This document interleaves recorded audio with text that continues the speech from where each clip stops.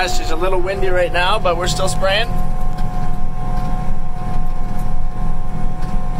I've got this thing revved wide open, so that way you can kind of have a feel for the sound.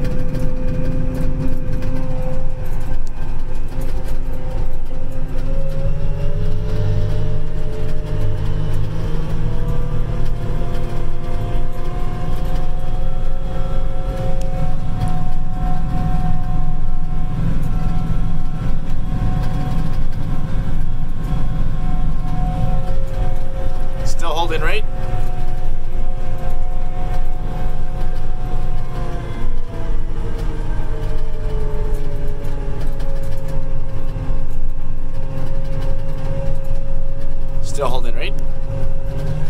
It's a great thing about this whole aim Hawkeye capstan. I like to be able to slow right down and still hold right.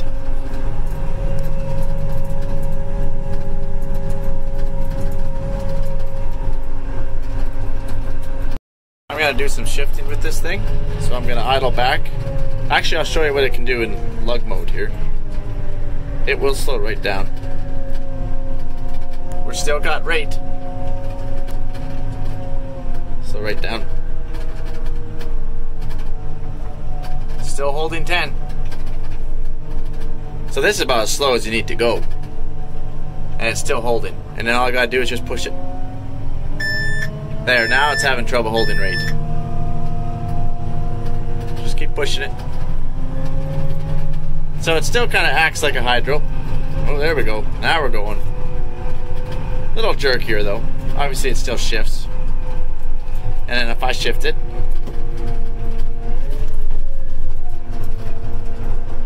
still a power shift.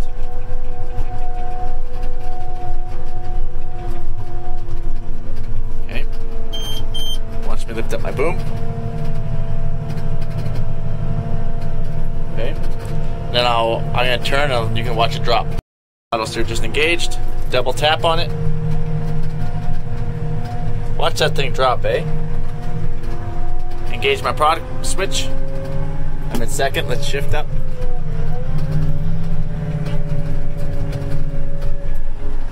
All right. You guys pretty much got it figured.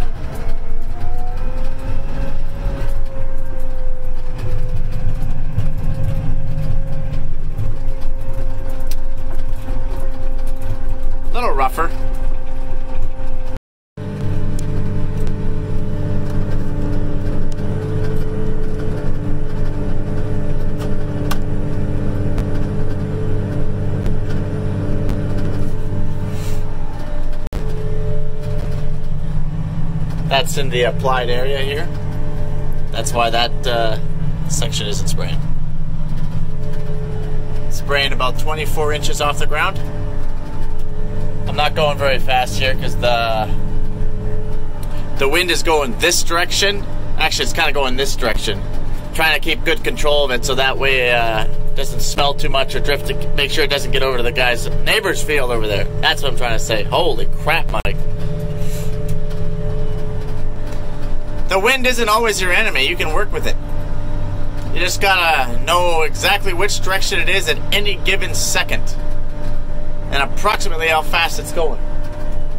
Right now, it's probably gusting 30k. So we spray low and we spray slow. All right, I won't. I'm gonna stop boring you.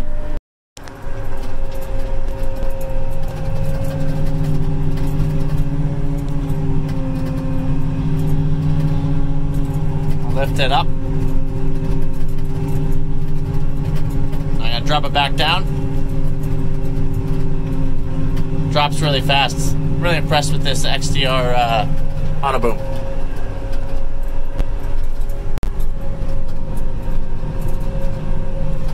The Apache's got a few rattles, I think. But, uh, yeah. Just moving down the road here. We got a load on.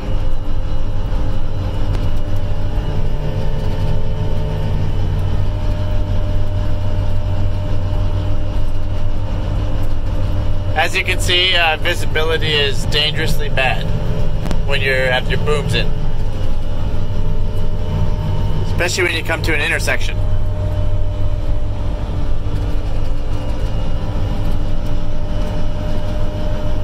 But you got good visibility when they're out.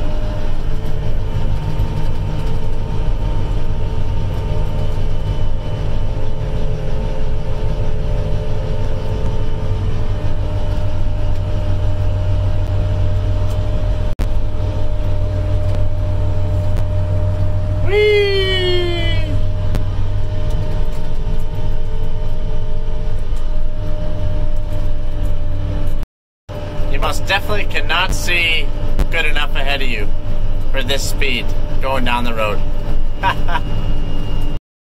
well, we uh, lifted the booms up to about 42 inches, I do believe.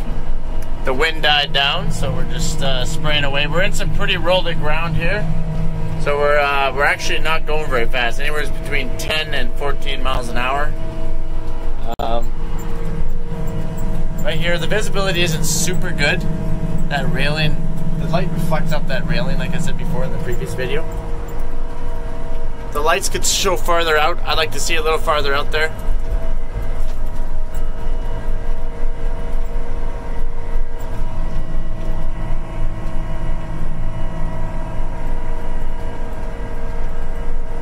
Need a light bar, I think.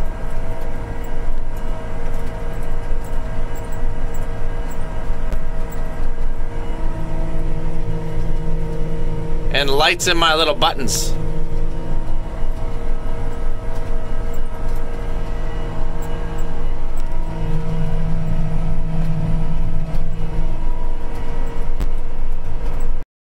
So uh, speaking of hills, I actually had to stop because uh, this field is uh, very difficult to do at night. Um, so anyway, I came out with a load, and being that this is two-wheel drive, and it's not a front wheel assist, and the tire's a little smaller, and it has a 70-30 weight displacement, 70 obviously being on the back, 30 being on the front. Uh, the wheels kind of like to skid a little bit. You can't, you got to be careful how fast you turn. If you turn too fast, they're gonna, they want to skid, and then you start tearing up the crop down there.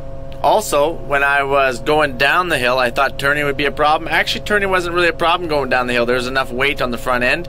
But it's when I turned around and started turning, going up the hill, well, then there's hardly any weight on these wheels, and then they were just easily skidding trying to get turned uh, on the side hills. So uh, that can be a challenge. So uh, that's one thing I noticed when I got in these hills with a full load on. So I just thought I would share that with you guys. Okay. All right, guys. So uh, as you know, I was uh, running this sprayer till uh, wee hours the morning last night. I think it's I think the monitor showed like 2:58 a.m. or something. And then I did a little bit of a review on it because it's my that was going to be about my last load with this particular unit. And I rewatched that again this morning, and uh, it was like I was watching it and I was like, "Ooh, boy, Mike, I, I think you should probably get some sleep." So, uh, so anyway, I thought I would kind of just redo it. And I don't think I'm really any better because I don't think I really got that much sleep because we were up early again uh, doing more spraying. But uh, I just wanted to point out a few things. I don't like doing any any types of reviews on stuff unless I can put a significant amount of hours on it. Like I'm talking 100 and some hours. That way you can properly get worked into the unit and really get a feel for it. Now I did do about a half a dozen loads, so I kind of have a, a light feel for it. it. Took me about five of those loads just to get muscle memory into the joystick. So, and I'm not going to tear anything apart. The Apache sprayer um, actually surprised us. It surprised us all.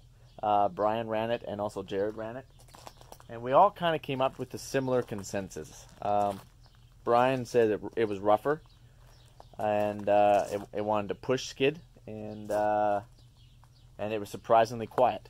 Um, Jared basically said the same thing. It was surprisingly quiet, and uh, it was noticeably rougher.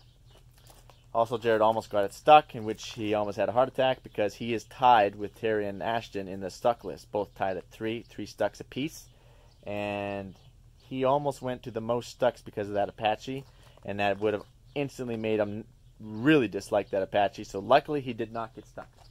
Um, so just a couple quick things here about the Apache. I'm not going to take up much of your time. Um, really like the Raven Viper 4 Plus in there. I really like the XTR, the new XTR Auto Boom. It was really responsive. It was really quick. Um, I'm, I'm, a, I'm a big fan of the Raven uh, Viper 4, so uh, maybe I have a bit of a bias to that. Okay. Um, actually, but regarding the whole unit itself, um, I didn't really like these lights. Um, they did not give enough light at night. You couldn't see there. Those are all floodlights up there. Um, you, would pretty much have to put a light bar up at the top. It, it is all LED lights. Uh, the side view is okay, as you'll see in the videos. I don't like climbing underneath that boom. I, I, I put out six tanks, six tanks, and six times I hit my head on that boom. You'd think I would learn after a while, but apparently not. Um, basically, the biggest pro, or uh, sorry, the biggest con to this unit is it's only two-wheel drive. Now, I was told you can only get them in two-wheel drive.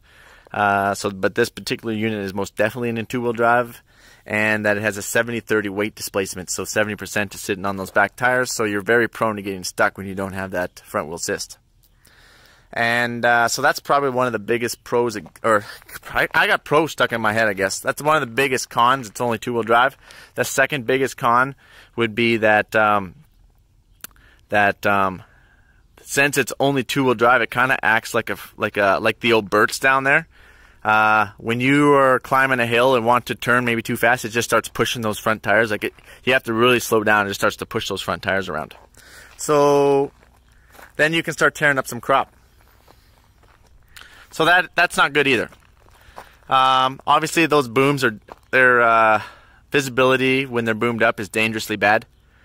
And uh, but otherwise, that's about it, you guys. It, it might not be quite as refined as maybe the John Deere and case sprayers, to be quite honest with you. But all in all, it's actually a very comfortable sprayer to run. Uh, you do have a power shift six-speed transmission, so you kind of got to get used to the, the power shift. But the pro is that you have a power shift transmission and you have unlimited amount of power. It's a 6.7 liter Cummins engine with like 285 or just under 300 horsepower, or something like that. I think that's what they said and it is snappy. Like with a full load, you can hit that thing in third gear and just crank it up, and it feels like you're you're catwalking up a hill. So um, it's got good power. That's a good pro. The cab, everyone said, is surprisingly quiet. It's quieter than my four-wheel drive tractors when I was seating, and uh, but it is rougher. And uh, I really do like those are Palmer booms. Palmer booms. I think I'm saying that right. Probably not. Uh, the booms are pretty good. Not only does the trip break away, but it also breaks away here. Don't ask me how I know that. And uh, no, because it doesn't have the auto boom wheel. I'm always used to having that auto boom wheel where it can come down and hit that. Well, without that auto boom wheel, it wants to. You got to hit the boom. So I would definitely mount a wheel up there. That's kind of like your oh crap, I hit something. Not a fence post, but your boom hit ground. At least it hit the wheel and can roll on the ground versus slapping the ground. Um, it the, the sprayer checks all the boxes. It, you have a really good rate controller. You got good mapping. You got good auto boom. Um, you got 1200 gallon. You can get up to 132 foot booms on here. This is 120. Uh, you got you got great power. It checks all the boxes. It gets it done, and it's about two to three hundred thousand dollars cheaper than its nearest mainstream competitors. So that that speaks a lot. Like that speaks a lot. So that's one of the biggest pros again going for it is it's two to three hundred thousand dollars cheaper, and uh, the seat's comfortable. The joystick is comfortable. So yeah, it's actually I'm, I'm impressed. I'm impressed, guys. So I just want to let you guys know that. Thanks for following me around. I think we have a few other colors coming down here. I don't know how it compares for noise versus the John Deere. I haven't got a chance to get in that 4060. Uh, it's my brother's prayer, and he has not gotten out. He has not released that steering wheel to anybody. So uh, one day, next year maybe, if nothing else. But anyway, thanks for following me around, and I will catch you guys on the flip side.